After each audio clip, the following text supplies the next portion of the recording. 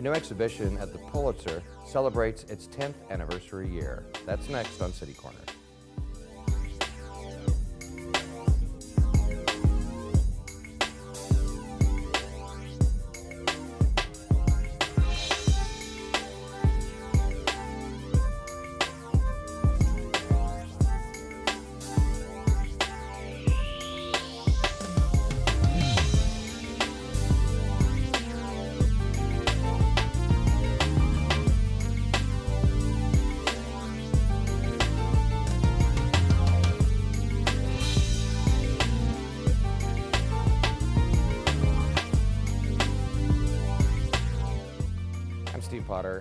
To City Corner.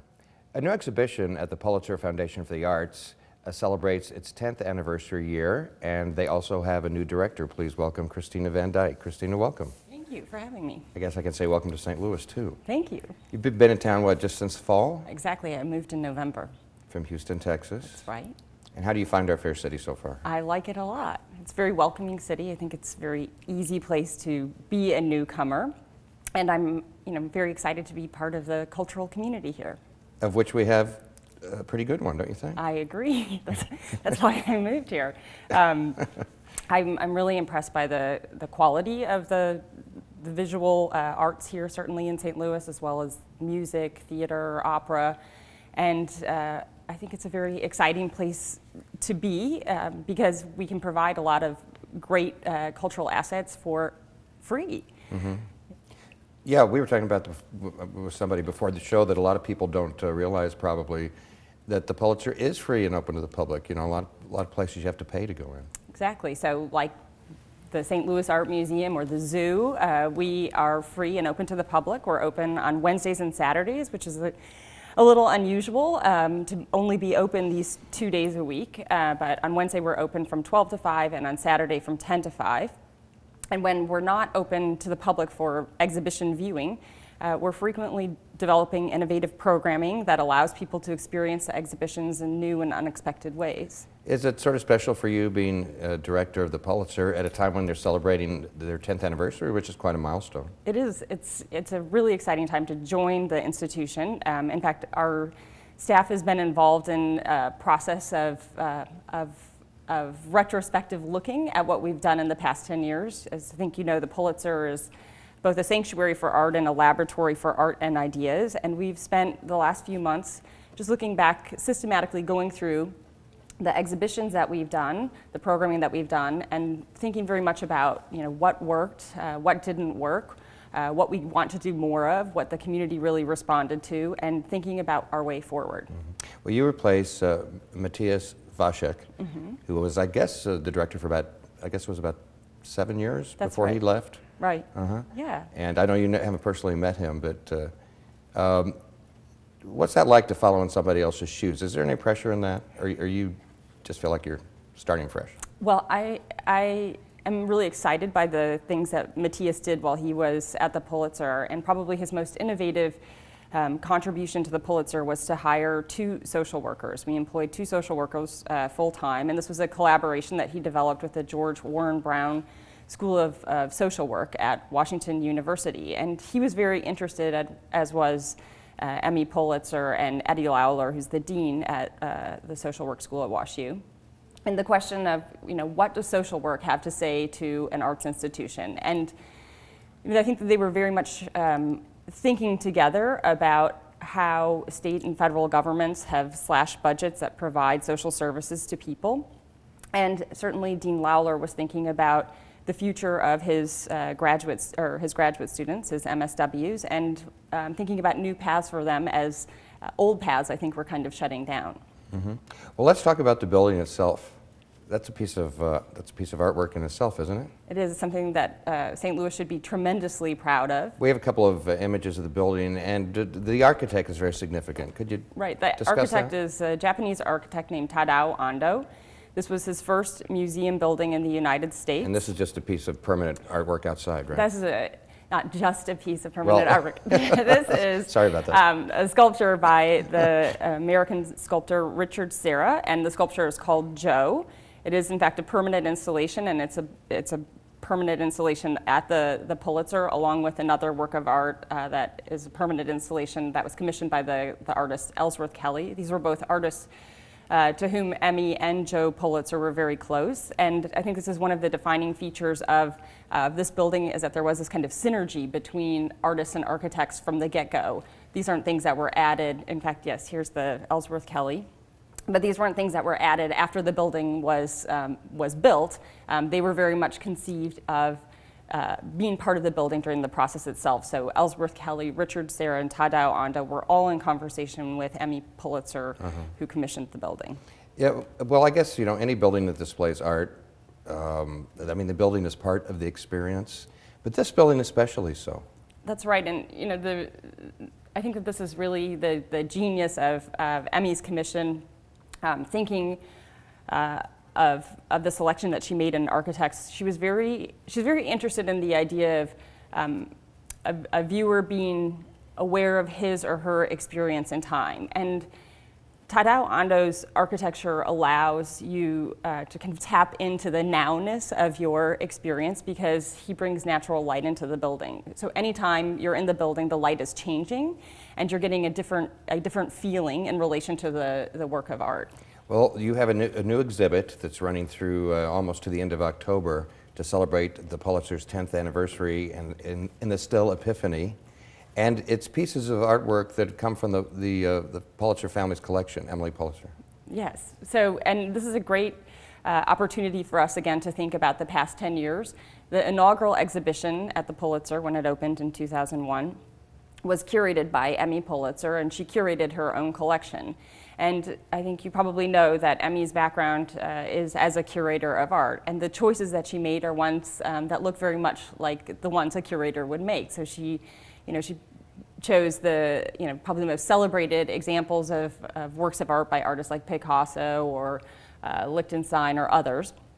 Uh, and you know, she had a, I think, a, a, more formal kind of presentation of the works of art in the building.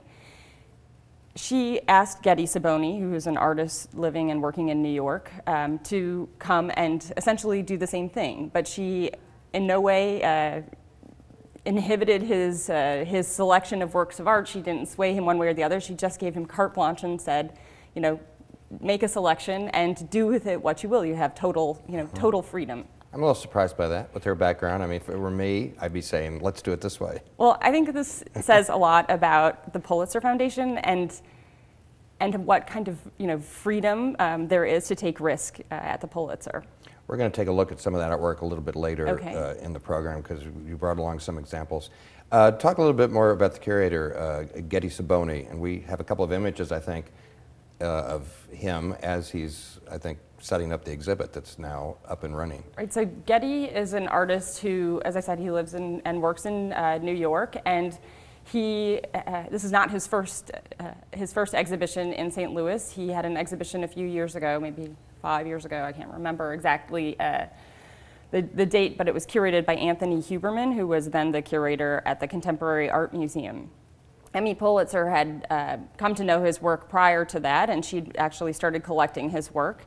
Um, he's an artist who uh, works with uh, things that we might consider the kind of detritus of everyday uh, life. So he'll take a piece of cardboard, he'll take a sheet of plastic, he'll take a, a carpet scrap, and he puts them together in this incredible, delicate um, way so that um, there's something almost kind of ephemeral about the way his sculptures come together. And he, he brings a kind of beauty to everyday materiality and, and really my experience of his work is that it really forces you to sort of slow down and think about the relationship of shapes and materiality and, and, and the space that you inhabit with the, the sculpture And itself. in the art world, he has quite a reputation. He does. He's doing, uh, he's doing quite well.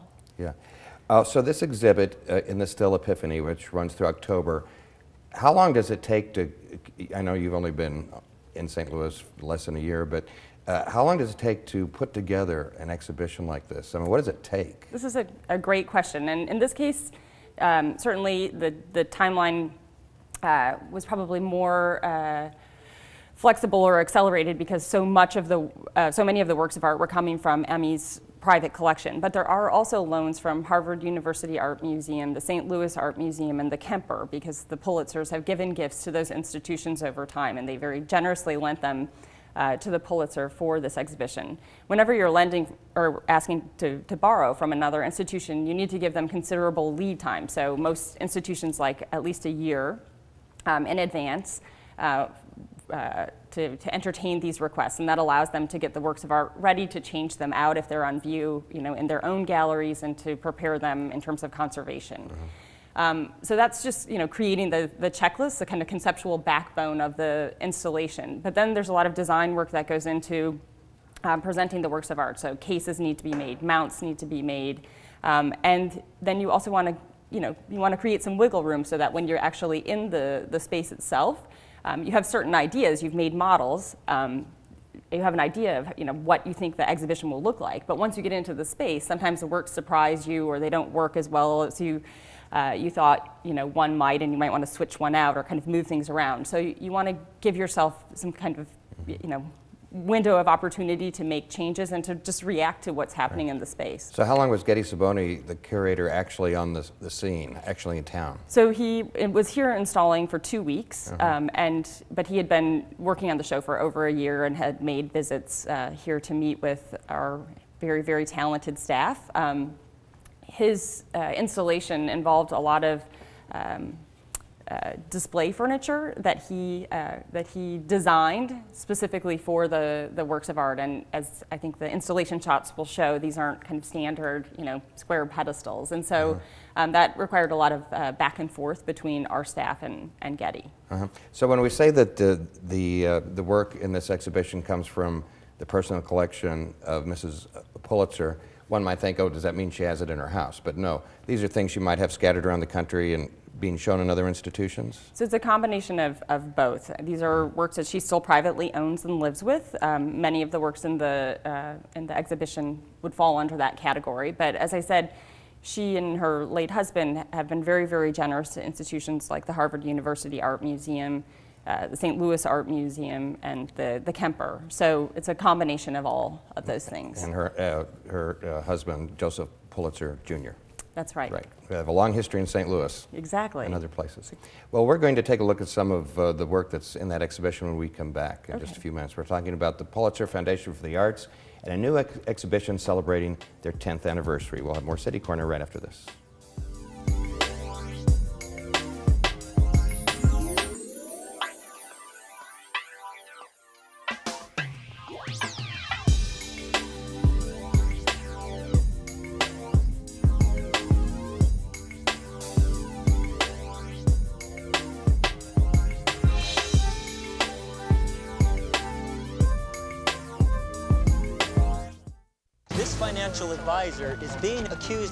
One of the largest investment frauds in the history of the United States. I guess we're not going to Aspen.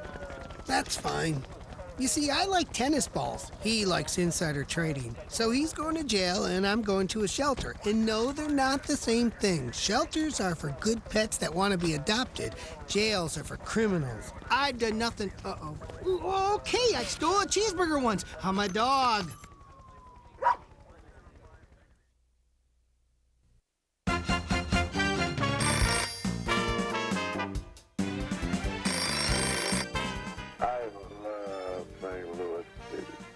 Love your show. I think it's a lot of fun. I love the show. I watch the show every night. You have great guests on there. I enjoy watching the best of the STL. I love the show, and I love to watch it all the time. Thank you very much. I just recently started watching the program, and so far I have really enjoyed it. It's wonderful what you do with the kids or anything, and putting St. Louis on the map. Hi, I really like uh, your show. Hi, I love your show. I watch it every day, every time you come on. I love your show. We may get to enjoy retirement, but our old cell phones shouldn't. Recycle them. It's easy, it's free, and it's good for the environment. Hi, this is Richard Garn. Please answer the call to recycle.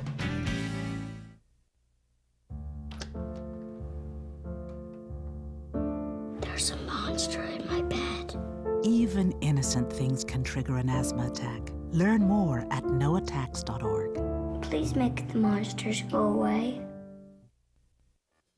Yo, what up? It's your man Nelly, and you watch STL TV. Experience the Lou all day.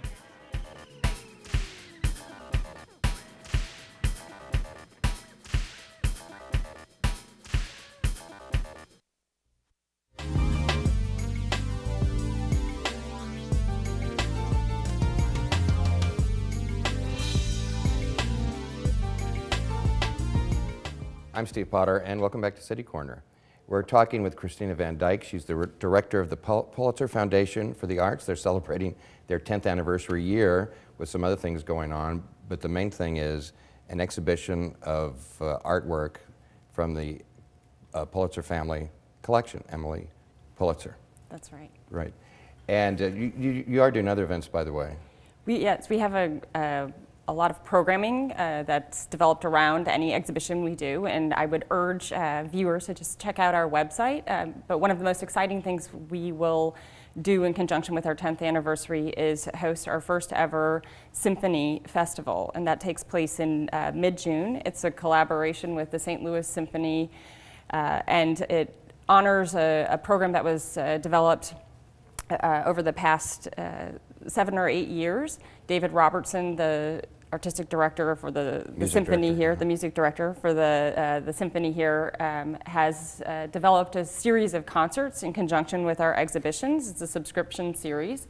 And in uh, honor of our 10th anniversary, a number of the works that have been performed in the past will be re-performed in June, along with, uh, with new work added. Right. So the symphony just did some work with Reflections of the Buddha, which was just recent. That's well, right. Yeah, so this was part of this um, ongoing series that we have, the subscription uh, series. And it's, you know, these are very, very special events for us and for our visitors uh, because they allow visitors to experience the exhibition in a new way. So that the, the concerts actually take place in the exhibition space itself. We transform the exhibition space into uh, a kind of mini auditorium the audience is capped at about 100 people, so it's a very intimate experience. And you know, like I said, it really allows I think people to have a have a new point of access to an exhibition. So not purely visual, not purely architectural, but bringing in the music. All right, just a recap before, and we're going to look at some of the artwork that's uh, in this current exhibition in just a moment. Before we do, little recap on the building. We have a couple of images of that located in Grand Center. It's become a very important part of Grand Center, and the way Grand Center is developing with uh, other art spaces, galleries, performance spaces. It's a great place to, to be, don't you think? It is, and, and as I said before, it's a, very uh, important landmark in St. Louis. It's something that St. Louisans should be very proud of. It's Tadao Ando's first museum building in the United States. He had done a little bit of work inside the galleries at the Art Institute in Chicago, um, and subsequently has built uh, a museum in Fort Worth and um, at the Clark Art Institute in Williamstown. Well, now, you have a background in this, obviously. You came from Houston, that's your last place of employment. How does the Pulitzer Building um, compare with what's in other major cities in this country? So I, I, was very spoiled, in fact, to work in a Renzo Piano building uh, in Houston. I worked at the Menil Collection, and uh, at the Menil, the way that the, that institution shows art, uh, again, uh, taps into this experience of, of natural light. Um, I would say that the Menil and the Pulitzer are, are, kindred spirits. It probably has a lot to do with how I ended up um, at the Pulitzer. Mm-hmm. These are both institutions that tend to show art in a very minimalist way. Um, and so that means, you know, almost no didactic material at the Menil collection, um, whereas at the Pulitzer, I would say we're even more radical in that we don't provide any kind of text on the wall whatsoever. You can pick up a gallery guide um, to help you identify works as you move through the, um, the exhibition. But in both places, the idea is really that you are capable um, of having your own experience with art, and that that experience comes from looking and engaging and letting your mind wander. And so I think both institutions uh, architecturally grant tremendous freedom uh, to uh, viewers and in terms of the way they display art. How long were you in Same thing. Houston? I was there almost seven years. Really? Well, you've uh, gone through your first St. Louis winter, and uh, we really didn't have one this year. So I wait, liked it. Wait till I next think, year. Yeah, we can do a repeat of It's that. got to be a lot different than Houston, I'm sure. It is. And your background actually is in what, African art? That's right. I did my graduate work in African art history, and I uh, studied the art and architecture of Mali, a country in, in West Africa. All right, let's look at some of the artwork that's featured in, in the Still Epiphany. at the Pulitzer Foundation for the Arts, all part of the collection of the Pulitzer family. And there's our first piece. That's right. This is one of my favorite works in the show. It's a self uh, portrait of the artist Vuillard, and it comes, uh, it's dated, I think, to the late uh, 19th century. It's, I think, circa 1892. Um, this is uh, an incredibly intense uh, little portrait. I don't think it probably will translate uh, perfectly on television, and so I would urge you know, viewers to come in and, and see it themselves. Um, it's a very intimately scaled work, and um, it's, it's very intense because the, uh, the, the figure, Vuillard, is placed in a very shallow uh, space, um, and his face almost kind of blurs um, in relation to the, the, the other uh, areas that are painted around it. And so there's something very kind of frenetic and intense um, about, about this work of art. And it's, of course, always interesting to think about how an artist sees himself. I mean, this is a, Mm-hmm. a self portrait. You say intimate. Is that what your say, uh, way of saying that's a small piece? It's a small piece, um, but it's also the, the space itself is a very uh, kind of domestic feeling uh, space. You can kind of see this trace of what looks like a wallpaper or sort of painted um, border. Um, this, the space that's represented in the, the work itself is very, um, it's very tight. Um, so it makes it feel like you're, you're really up close in a very intimate way with, um, with the artist, confronting the artist. Let's go to the next one.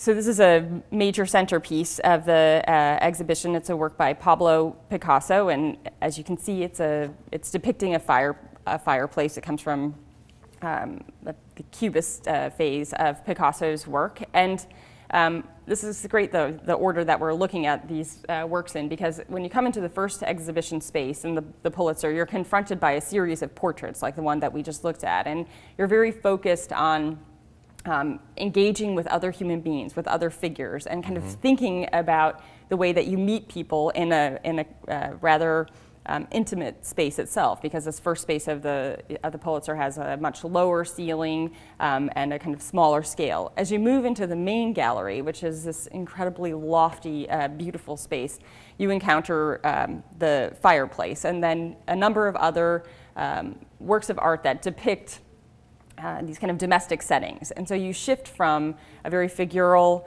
uh, introduction into, uh, into a gallery where the, the tone of the gallery is, um, is set by these references to domestic spaces. So, Kristina, for those people that haven't been there, is it important the order of the rooms that you go in when you go into the Pulitzer? I mean, can you just walk anywhere, or is there a path to follow? There is a, a path to follow. Certainly, when you come in, there's only one way to come into the um, into the building. But then, you know, this goes back to what I was saying earlier about the kind of generosity of the of the architecture. Um, you are really free to wander and discover uh, the building on your own, and this is very intentional on the part of the um, on the part of the architect. Let's uh, look at more work from uh, the Epiphany. What is it? This, In the Still in Epiphany. the, in the Still Epiphany. I'll spit that This out. is a gorgeous, gorgeous painting by Pierre Bonnard. It's uh, Still Life with Ham, and it comes from uh, about, I think, 1940 is the date on this. And this is a work of art that is just totally activated by the sunlight in the in the main gallery. because of Um, the colors, you mean? Ugh, the colors are amazing. It's it almost reads as like a mosaic. You can't tell where one you know bit of color begins and the next um, ends. And the you know there's these kind of violet uh, colors, these deep reds, just this gorgeous um, range of, of color. Bonnard was a great colorist. Let's go to the next one.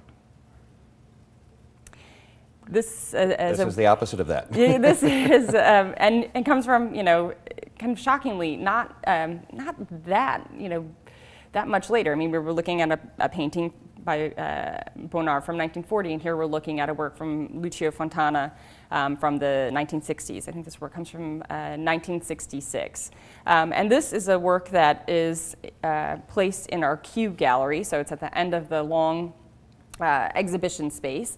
And uh, Fontana was an artist who was very interested in, in kind of taking painting off the wall and thinking about the relationship of, of painting and sculpture. And so um, there's a cutout element, that kind of uh, black frame with the, the scallop that actually projects out into the, um, into the space. And Fontana would also you know, make slashes in his canvases or, or, or puncture them in some way to kind of create a sense of um, space moving through a work of art. I think we have four more to look at. Let's uh, try to uh, uh, see those in the minutes we have remaining.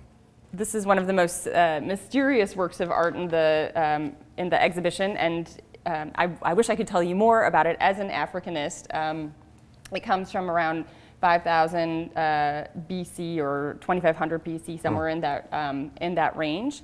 Um, it came from the desert area in, in Niger and in West Africa, and um, unfortunately, we know very little about these works of art. This is a very tiny uh, work of art. You can kind of almost put in your hand. This is a portrait by uh, Paul Cézanne. Uh, of course, is a very famous uh, French artist. It's a portrait of Jules Peyron. And um, as I understand it, this uh, gentleman stood up in Cézanne's uh, wedding. He was a witness um, in his wedding. This is also in the first gallery. And then this is a work by, uh, by Redon, who was a, a, symbolist. It's called The Wind. Um, and this, again, a very mysterious uh, painting. The, this kind of disembodied head kind of emerges from um, the, the darkness. Sort of eerie. Yes. And we have one more. And this is by uh, an artist named Rosso, uh, who was an Italian artist. It's called The Golden Age, and it depicts a mother uh, kissing a child. Um, it's a, a, sculpture, and the way that it's displayed at the Pulitzer, you can actually see the back as well as the, the front. Again, like the Redon that we were just looking at, you can see there's almost a sense of something kind of emerging, coming into, um, into being.